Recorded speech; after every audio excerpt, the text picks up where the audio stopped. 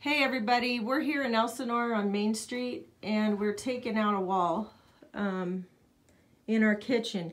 They have this facade brick wall and this is the back side of it. This is uh,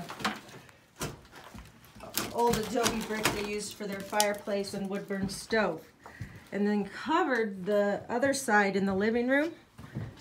And if we can get this to come out in one piece, you are welcome to come and get it. Or maybe even a few separate pieces, but here's what it looks like.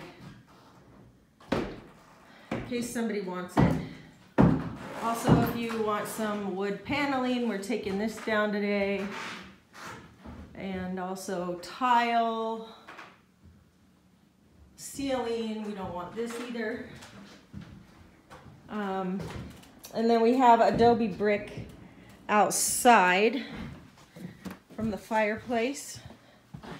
We got piles of it here. These are kind of more broken up because I chucked them out the window upstairs. And then these are whole,